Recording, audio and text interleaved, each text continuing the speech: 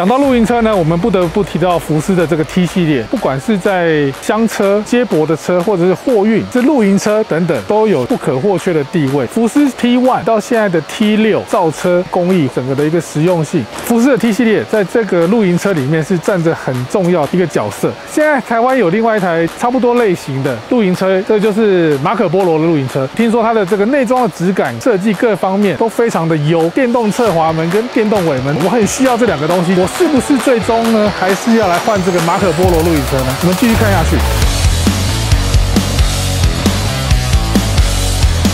OK，我们这一次请到的呢是这个资深的露营车玩家，人称黄老板的这个黄老板。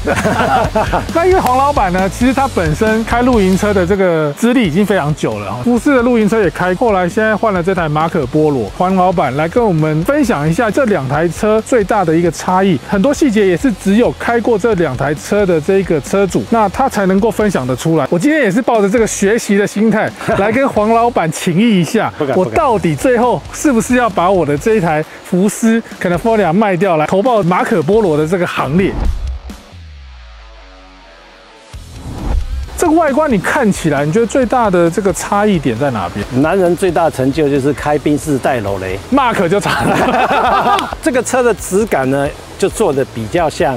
高级的修理车，对，福斯呢，它就是没办法跳脱货车的那种质感。如果今天要去机场，我花一样的钱，我当然坐宾士啊。哦，我很多朋友开租赁车的，他都把福斯卖掉换宾士。对，那因为消费者的的心态了。对，它先顶后面有一个 W 的这个 logo。台湾又有些人在改先顶，好像也是用这个套件教育。这个先顶是德国他们一个最大的品牌，应该是宾士跟这家他合作先顶的合作的产物。哦，所以说它的这个套件是用。这家公司的对这个套件常常看了，对，车子出来之后再把这套件放上去，它应该也有生产很多对应的车型，像可能 T 三啊、T 四啊、T 五。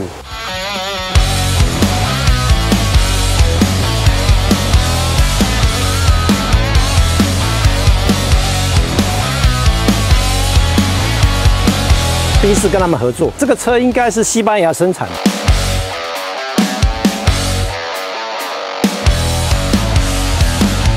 难怪我刚刚看一下，我刚刚仔细看一下，就是它那边边胶的部分，好像还是有一点凹凸哈。原厂里面生产线出来的模具各方面的资源。比较精做出来精确度一定比较精准，经过一个改装厂的改装出来的，你用宾士的轿车跑车的规格做出来的车的质感，对这个它在生产线里面则一体一体打包出来的。因为我有朋友他也是在台湾改的先顶，他也是用这个套件，它的胶条有些收边就歪哥齐刷，其实更严重。但是这个已经相对好很多，相对已经，但是还是不能跟福斯的这个平整度比起来，还是差很多。我觉得还是有差。对对。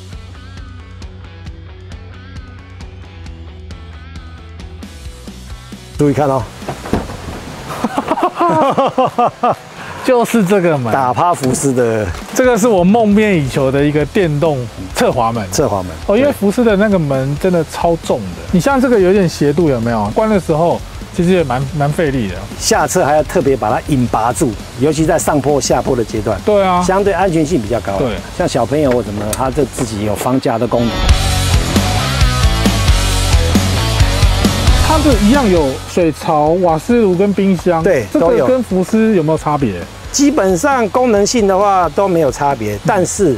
因为宾士的东西比较昂贵，所以都列为选配要自己买。譬如说，你的水槽有个滤水篮，对，要自己买。冰箱里面的那个分离的置物篮也要自己买。也要自己买。对，所以都没有，都没有。但是它的防盗的那个纱窗比福斯的好，福斯用塑胶板的，嗯，它是福斯的是一个金属铁板。那餐桌啦那些设计没有什么不太一样。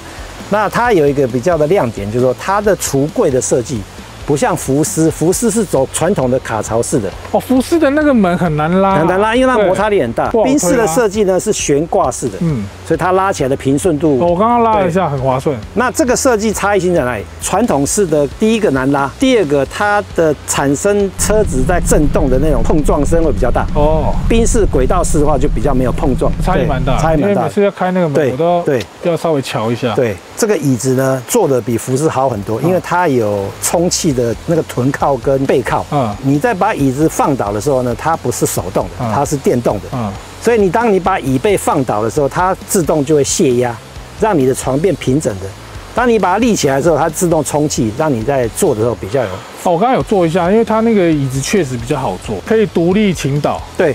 而且它的角度蛮斜的，对。然后像福斯的话，就是平平的，然后它角度只有两段而已。对，它的椅子下面的那个储存空间呢，嗯，容量跟福斯的是没有太大的差异性。败笔就是说它的东西的刚性用的太差了，它是用塑胶射出的薄板，所以拉的时候呢，你必须非常的温柔，不然可能你交车没多久就被你扯断，搞坏了。福斯呢是用一整块钢板，对，你用脚去踹呢，它可能也不太容易坏。对，可是宾士呢，就你要很很温柔的拉，很温柔的推。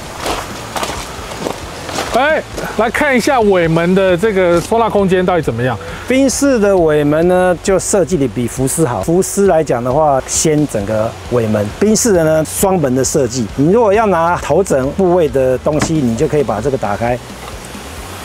哦，所以你就不需要就是大费周章把它整个掀起来，不然我那每次福斯，我靠，那门就要打开，对，然后要拉，不小心还会弹到下巴。今天要整个拿行李箱下面的东西，都要先关起来，对，先关起来，对。那一样，注意看哦，浪哥，这个你没有的。哦，哎，我也很想装这个。对对对对对对对。哦。这个超方便的，对啊，这个就是宾士舒服斯的地方。宾士所有的椅子跟桌子呢，全部放在这里，放这里。它原来的设计是一个吊网啊，这个东西是挂在这上面。那桌子椅子是放在这里面，但是它放完以后几乎没有置物的东空间。那这个设计就有点鸡肋。对啊，你看福斯它就设计在这个地方，侧门放桌桌子，它完全不占你行李空间。但是你如果要用宾士这个设计，你就不用带行李的。对啊，对，就完全就占掉。那这样其实放不了太多东西。对啊，所以你势必要必须用比较轻巧的椅子，收纳比较小的桌子，才能够放下你要露营的东西。它的睡垫嗯非常的薄哦。所以你在睡起来的舒适度就远不及福斯的那个三叠式的那种泡棉的睡垫。哦，比它原配对，所以我们自己呢就会去找厂商再来自己定做，去 copy 福斯的设计。哦。哎，车价比较贵，但是所以它周边很多东西像哎什么补胎剂啦、打气机啦、千斤顶啦，还有你刚讲连蓬头，连蓬头也要自己买。哎，那我看一下，看可以有水箱，有有有有有，你有用这个东西吗？我没有哎，我示范一下，你这样的话就可以在车边洗澡了。这样的话，你有个吸盘的话，你就可以把这这样方便很多，方便多。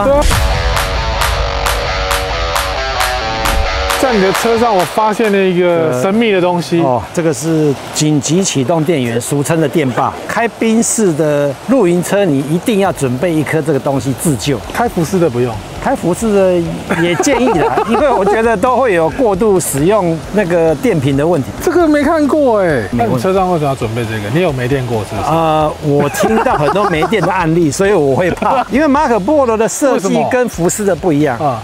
福斯的设计是三电瓶，它是七十安培、七十安培、七十安培。发动引擎的七十安培不算的话，后面七十加七十一百四。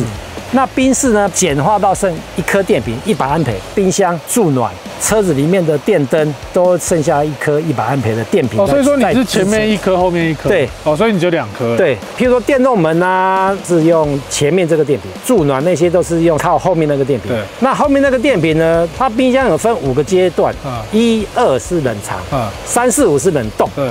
如果你用冷藏，它的电瓶撑个一天没什么问题。啊，可是如果用冷冻的话，你撑一天，它的电电量可能会下降到七十趴、八十趴。那你如果开更冷冻一点的话，可能剩六十帕。对。那到这个 level 的时候，你可能到时候你车上的电系呢可能会下档。啊。不完全就是锁住，让你没办法升降顶。所以最好的使用方式就是说，你每一天都要去检查一下你的。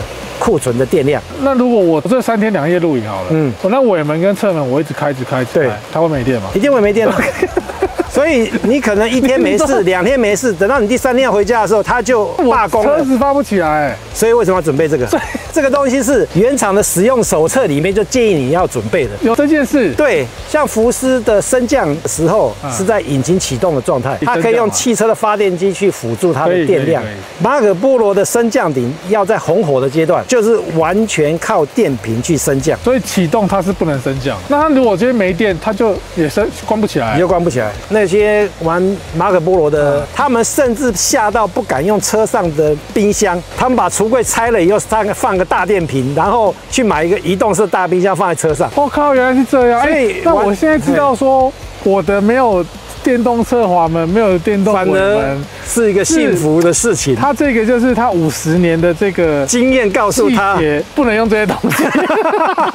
这这样这样我比较可以那个接受接受。对，当你发现你要回家，你没办法降顶，也没办法发动的时候，你宁可不需要电动滑门，也不需要电动尾门的。我现在就是要把它降下来。对对对对。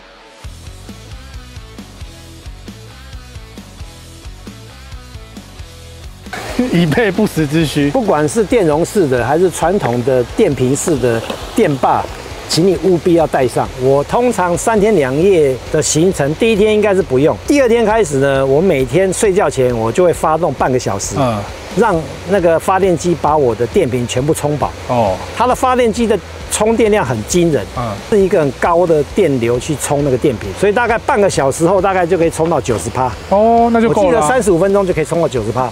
所以你务必要严格执行睡觉前的充电的动作。那服侍之前需要这样吗？除非我是超过三天以上，否则我基本上我就摆烂。是一个对，冰室我就不敢摆烂，因为我朋友他就是在那个清泉的将军汤那边。对，他从礼拜四晚上去，自信满满的，到礼拜天早上回家的时候，发现完全瞎荡，一幕也没有了，什么都没有，要发也发不起来了。这个时候呢，他就翻开他的使用手册。发现说你要用电霸把你的那个引擎发动，他才跟隔壁的路友借的那个电霸，把车发动，把电充饱，才有办法回家了。今天收获很多，对我之后应该不会没电。哎，黄老板，你刚刚提到说这台宾士开的方式就比较斯文，然后你的福斯那时候就比较狂野一点，为什么会这个差别？福斯的车子的刚性没话讲，因为它是不客气叫货车，必须要大梁，嗯，它可以载重。福斯算修理车，它只准备让你载人。所以它相对来讲的话，它去走一些烂的地方的话，车子的扭曲会比较小。哦，看哪一顿啊？福斯来讲的话，它给的比较大方。啊，它除了四轮传动以外，它还给你 Hold Lock。哦，对，还有 Hold Lock，这没有，这个没有。哦，我曾经在花莲的沙滩用 Hold Lock 拖控过。啊，它没办法做。过度的重度越野，嗯，但是如果说同样情况会掉卡的时候，你有个 Hold Lock，它确实可以帮你脱脱困几率比较高。脱困，那福斯来讲的话，它也它也给的很大方，就是它的避震器，单段电子式可调软硬。宾士它就是传统避震，它就没有可调，那它只有变速箱就是 Sport 模式的。嗯，那这台车呢，我朋友啦。那他开五羊高架，他曾经跟我讲，他吓死了，可能没有侧风稳定系统。哦，我我的侧风稳定。对对对，所以这台车比较风大的地方，它会比较晃，所以你要有心理准备。你是福斯的，是不是有装尾挂钩？对我那时候还有办监工艺，我是在后面那个方管架做了一个做了一个机车架。哦，机车架。对，然后把机车放在那个后门的后面，整台的机车，大概一百公斤的机车，这样撑得住啊？可以撑得住，但是那个弹簧挂得快，所以福斯的车，如果你都载重，或是像我一样有挂东西的话，它的避震器一定会塌掉。解决方案就是帮你垫一个那个垫垫片，再垫高。对对对对。那马可波罗的话，就百分之百不建议。哦，所以这台车你说刚性的问题，可能各方面比较不适合，不适合了，因为它是龙形，可能就教室结构吧，它不像福斯是有大梁的设计，所以它能够承载的重量就相对就比较低一点，比较低一点。所以现在呢，只能找一些比较平。平缓的道路开，不能去再再不能去挑战一些什么林道什么的。哦，了解。对，哇，那这个差异还蛮大的。大。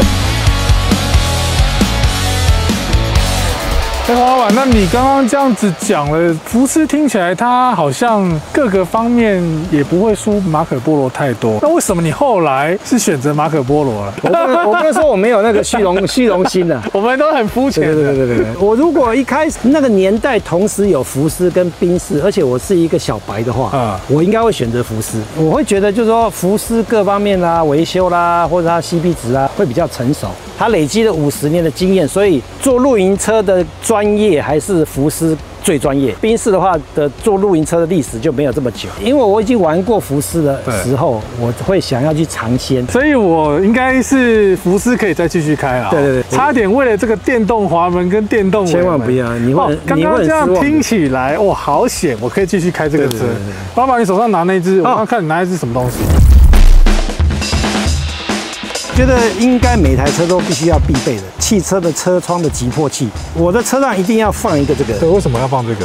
因为我本身在做汽车玻璃修补的，我当然有的时候要去敲别人的玻璃，然后才能够赚一点 赚一点这个油钱。哎，破掉了，去找你。对对对对对对对对，哦是这样子。没有啦，这个东西呢要列入每台车必须标配标配。为什么？因为如果你的车掉到海里或是翻车，对，你要从车上逃生，这时候也许车子已经开始冒烟要着火，可是你被你的安全带卡住了，对，或者被你。的车窗挡住了，你逃不出来，你怎么办？啊，那这个设计非常的好，就是说它的前端呢是尖尖锥状的，它可以把车门敲破，然后你可以安全的逃生。那它后面的设计是一个美工刀，它就可以把你安全带割断。因为我们汽车的设计呢，它比较特殊，就是说它的前挡是胶合设计，它可以敲得破，但是它不会碎。啊，那不会碎的话，你就没办法逃生。对，所以你必须要敲那敲车侧门。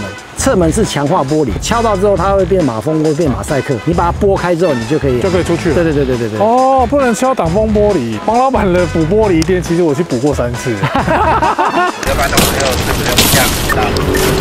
你你打我干嘛抓下去。没有，没有来补。我每次去都没有看到黄老板本人。云游四海，就开露营车去那边到处 happy 去爽。百忙之中抽空来我们这个频道跟我们分享他实际使用上的一一些经验。不知道怎么挑选这个露营车，那我相信我们这一集就是黄老板他们亲自的这个分享参考的一个方向。喜欢我们的频道，记得哦帮我们按赞、订阅、分享一下啊，开启小铃铛。OK，我们下一期影片见喽，拜拜。